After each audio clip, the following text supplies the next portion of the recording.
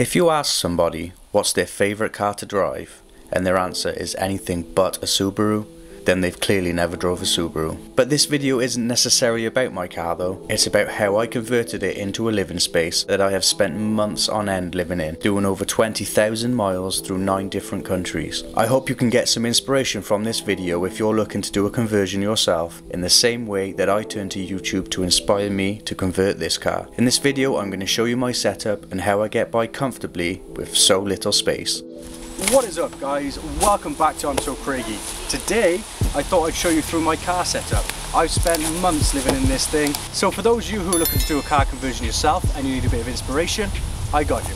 Come on. So we'll start off with my side door here. I guess you could call it the utility room. I don't know, it's where I keep a load of random. Let's check it out. So in here guys, I've just got a load of random stuff, primarily my cooking stuff actually. I've got my kettle, hiking boots, I got an umbrella here, coal, gas cooker, and a whole load of gas canisters as well. I've also got a diesel jerry can down there as well, but I've got two diesel jerry cans because I've been doing a lot of mileage in sometimes some really remote areas. So uh, I got two of them just to be sure. Basically all my cooking stuff is in here and a few other random things. I also got a tent as well. Also guys, this bit of kit, anyone who's road tripping, definitely take one of these with you guys. It's a tyre pump, you plug it into your fag lighter, works wonders. For the entire of my Wales trip, I had a slow puncture in this tyre right here. So every four or five days, I had to break this out just to pump some air into it. It was a lifesaver. Right, let's get on to the main living area. So, this is my main living area, guys. Feast your eyes on this.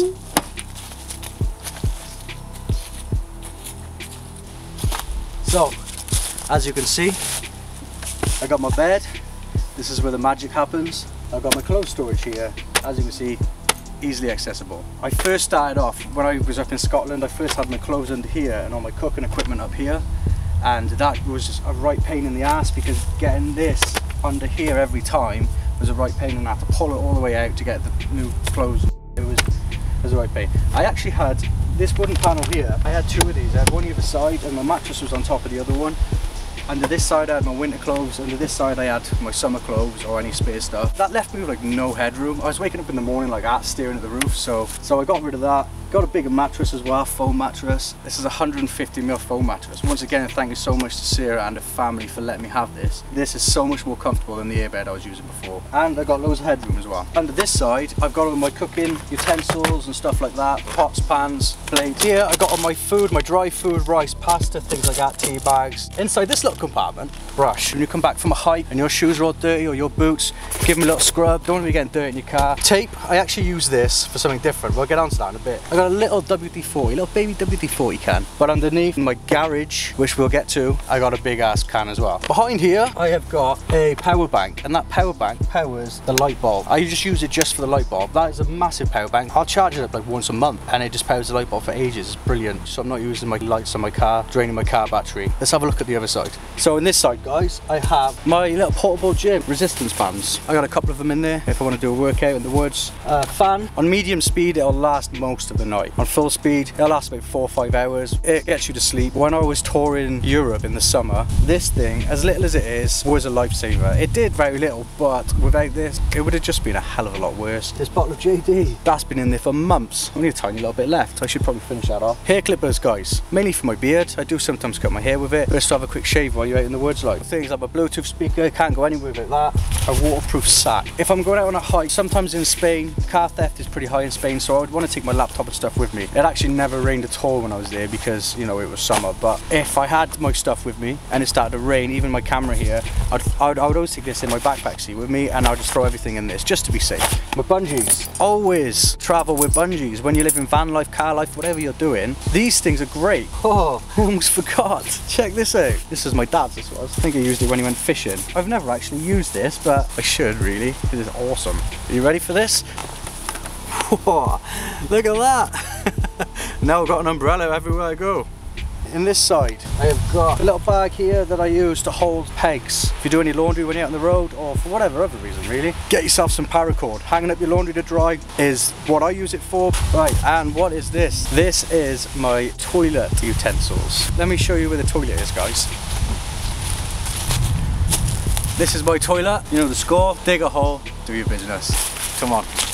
Right, so along the side here I have my books if I fancy doing a bit of reading. A knife, it's a hunting knife. Flag there just for decoration, obviously my bed. And then we got my bathroom area, but we'll get to that. This drinks canister is drinking water. Along here I would normally put things like uh, milk or cooking oil, things like that. Holds it in place when I'm driving. And the tissues. At the top here guys, I've got my extra storage. I usually put my phone up there at night. As you can see I've got two carabiners there and there. And as I've said in a previous video, I used one of them to clip my keys on at night so I don't lose my keys. I got my light here powered by the power bank as I previously mentioned and I also have fairy lights and at night they look cool guys. Guys so that is my living space. Now I did mention earlier on about this tape what I use it for obviously I use this tape as well. What I've been using it for is to jam the little hook here that the door hooks onto when it closes so when I'm sleeping in my car I just jam my tape down there like that and when I close the door it doesn't fully close with me inside it sleeping, I'm not worrying about someone trying to steal anything because all the other doors I lock by hand. In the morning when I want to get up, I just kick it open with my feet and voila. Now let me show you my garage area where I keep all my tools and things like that. The main thing and what everybody should be traveling with, because I use it all the time, is a toolbox. This thing, I've used it so many times, honestly it's great saw. If you want some firewood, bring a saw, you guys. Other things I have way at the back are jumper cables, duct tape, got air intake cleaner. We'll get to what I have that later on in the video. Oil, in case you need to top up when you're on the road. And then other things in the back guys, I've got a couple of ratchet sets, some zip ties. I also have a summer setup where I have a mosquito net that I hang up inside here and I put my bed inside it. When I'm somewhere hot, I got my windows down at night. I don't want to be eaten alive. If you want to see that, click in the top right corner now and uh, it'll take you to the video where I talk you through that in more detail. Also, on that same video, I mentioned this, but I'll mention it again. How I hang things up to dry when I'm on the road. It's simply put the up there like that, hang my towel over like that, and then I just use one of these to hold it in place. You can still see at the back for this part. Right, let's get on to the bathroom. Right guys, so in here is my bathroom. Come and have a look at this. Right, so where do I begin? I know, we'll start with the fridge. As you can see guys, got a little cool box down here. I really ever use it, but if I got butter or anything like that, put it in there. It helps a little, not much. Up here I've got my sink. I have running water in here guys. Look at that. Great for having showers, brushing my teeth in the morning, washing my face. You'll see me take showers on a few of my videos actually guys with this. Put the window down a bit, put it outside the window, close the door and I shower just outside my car here. If it's raining and I don't want to get out of the car in the morning to stand here and brush my teeth, I can even do it just from in bed because I got a little collapsible sink here. I do everything in that sink guys. I do my laundry, I do my washing up, and I do my morning routine in that sink. What I have here just your regular toiletries guys and my fairy liquid of course. I've got an extra bit of storage here. I don't really use it but if I want to put things in it shower gel or whatever. I got that there. The water tank in here. it's gravity fed. That's my drinking water. This is spare water. It's obviously one of those pumpy things which I can use for whatever, but I also use it as a container just for carrying spare drinking water, especially when I'm in a hot climate. This has saved my ass in Spain. However, this is not drinking water. I fill that up in waterfalls, rivers, wherever I can really, but I don't drink it, I just use it for washing. This wooden thing here is a table. I also have a chair to go with it. I'll show you the chair in a second, guys. And as you can see under here, I've got my spare toilet rolls, and I've also got access to the back of my cooking utensils from here as well. You can go right in, so if there's something at the back I need to grab. Under here, you can't really see it, guys, guys, I've got my laundry powder. I wash my clothes in the sink and I hang them out to dry. You can see that on my San Fermin episode, guys, up here in the top right. And of course, I've got my cloth for washing my dishes and my tea towel. That is my bathroom, guys. Let's get on to, I don't know what you'd call it, the dirty area, I guess, where I keep my rubbish, where I keep my dirty laundry. Guys, first I'll talk about this backpack. I always have my backpack with me in the passenger seat. I always keep loaded with shower gel and a towel. If I see a quick opportunity to have a shower, maybe I'm driving past a campsite and the toilet block is unlocked, pull my car up, I grab this, I know I can have a quick shower. I'd also keep a change of clothes and stuff in here as well. Always ready. Because when you're living in your car, showers are few and far between unless you're showering with that thing, but water is scarce. So pull my car over, grab my bag, leg it in there, get it done, throw my bag back here, and I'm out of here. Down here guys, I have my bin bags. I got a pair of binos. If I'm out somewhere nice, bikes I want to do some spying. I got some binoculars. My first aid kit here as well. I have used it actually when I did the Three Peaks Challenge. Plaster my feet up. I've got another umbrella because if it's raining and I want to cook outside, I use one umbrella to go over the stove or whatever I'm using and one umbrella to go over me. Then here I got my laundry bag, keep it down there out of the way. I also tie my bin bags here, maybe just on the handle or something like that. I want as far away from the living area as possible, my rubbish and my laundry, and this is pretty much it, right? Uh, my towel. So obviously my towel's a towel, but I also use this as the curtain here for when I'm going to sleep. I'll show you that in a sec, guys. Let's look in the glove box. Let's have a look. Whoops, you weren't meant to see that. Up here I have this computer thing. When you have an engine fault come up, you plug it into your car and it tells you what's wrong. It saves you having to go to a garage and them to charge you or rip you off just to tell you the error code. So I actually used this on my part one of when I was in France. Didn't make the final cut of the video. The problem was the MAF sensor was dirty, which is why I got the MAF sensor cleaner in the back there, if you remember I said earlier on in the video. Now, if I had taken that to a garage, they would have probably said I need a new MAF sensor, charged me for a brand new one. Wouldn't have cost a lot, but still, they would have ripped me off. I was in the middle of France. Because I had this, I found the error myself, went to the shop, bought some MAF sensor cleaner, and the problem was solved. Honestly guys, travel with one of these, and they're super cheap. I paid like 15 quid for it on Amazon, and tire pressure sensor, and then playing cards in case I bump into other travelers of other camper vans, and uh, we want to have a little drinking game. And here I got all my car information. Guys, if you're traveling Europe, you need to be traveling with a printout of your insurance saying that you're insured to drive the car in this country. So I normally keep this in my glove box along with other important documents such as my passport which is in here now. And down here I have my trusty Atlas. I use this thing a lot guys. I love traveling by Atlas. It is a lot more fun than traveling by SatNav if I've got nowhere to be no time constraints why would I pump it in a sat nav? I take this. If I get lost even better because it adds to the adventure. Right guys that's my dirty area. Let's move on. Come to the cockpit guys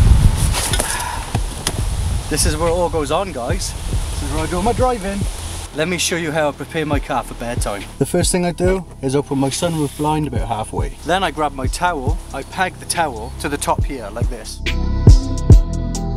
I either get another peg and I peg it here or I just tuck it in somewhere and then the same on the other side. The second thing I do is arrange the seat. I have it preset so it moves all the way forward, giving me a substantial amount of extra room. Guys, one thing I forgot to mention earlier as well, in here beneath all my tools and stuff I also have a spare space saver tyre and it has come in handy. I have used it if you watched my video where I went swimming with seals on the Isle of Lundy with my sister. I had a blowout on the M49 and if it wasn't for the spare tyre we would have missed the ferry. Also, I mentioned earlier that I have a chair with me, just a little thing like that. I keep it stored under my mattress. Let me show you how I get in and out of the car.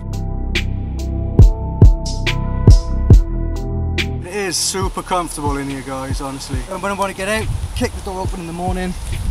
It's a simple case of pulling yourself out. It's as easy as that. However, I did used to use a different method of getting out. I used to use my sunroof to get out, but I will say that sunroof saved my car for being a write-off. When that fire broke out when I was asleep in the back in Ireland, so what happened in Ireland is that I'd got drunk that night with a guy I'd met in the lookout. He was just hiking, so we met, we got drunk together, some Irish guy, had a barbecue and all that. Put the barbecue out. When I went to bed, I opened my, not just my sunroof blinds, but my entire window so I could stargaze because we had no light pollution. We were in the middle of nowhere overlooking these giant sea cliffs. It was lush. I fell asleep and having the window open I could hear the crackling of the fire. It was already blazing at this point but I heard the crackling and that is what certainly saved my car because next would have been the back tyres. They would have blown. Below the passenger seats at the back here is the fuel tank. Who knows? It could have been a lot worse. If I never had that sunroof completely open I wouldn't have heard that. I was drunk. I would have slept right through it and God knows what would have happened. The entire back of my car was burned. Everything. Car was parked right here. Look at my car. Imagine waking up to that. The only electrical damage I had was the, the rear parking sensors, which uh, I think this is the remainder of one of them. The rest are non-existent. I've stuck my thing on with tape, lost my badge, my lights all work. Look at this. My wiper's a bit dodgy, but it still works. Oh god, look at it all. I'm just devastated I am. Oh. I was very lucky to find a guy in Limerick who was scrapping not only the same car but the same colour. He was breaking it. I negotiated with him for 200 euros. He gave me the entire back end. I was very lucky there guys. Let me show you how I escaped. So I'm lying in bed like this and I hear crackling of a fire. My eyes are wide open and I see just out the window there a blazing fire. I my pants. I am of this thing.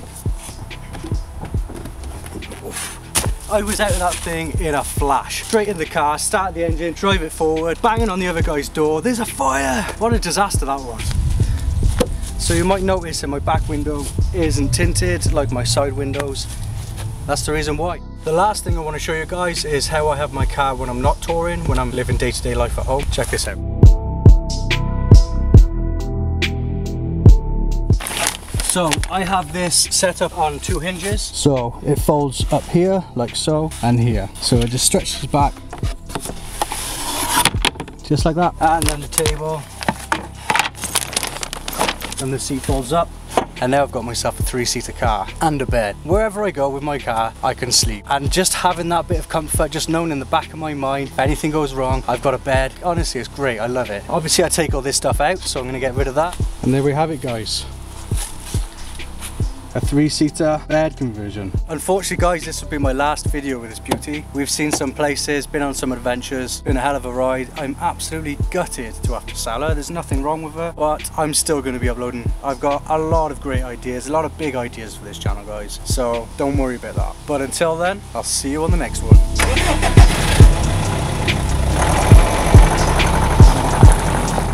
I hope you all had a good Christmas and New Year and I hope you got some good tips or inspiration from this video. Check out my other videos to see the adventures I got up to last year and subscribe to my channel for more because I have some big plans for the channel this year. Thanks for tuning in guys and I'll see you on the next one.